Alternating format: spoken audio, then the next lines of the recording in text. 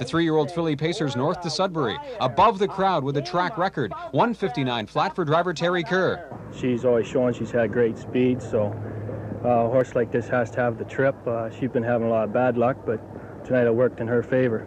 Other division winners, Dr. Beth in 2-1-1, also in rain to Kerr, and Spring Philly in 2-1-4 for driver Ken Hardy.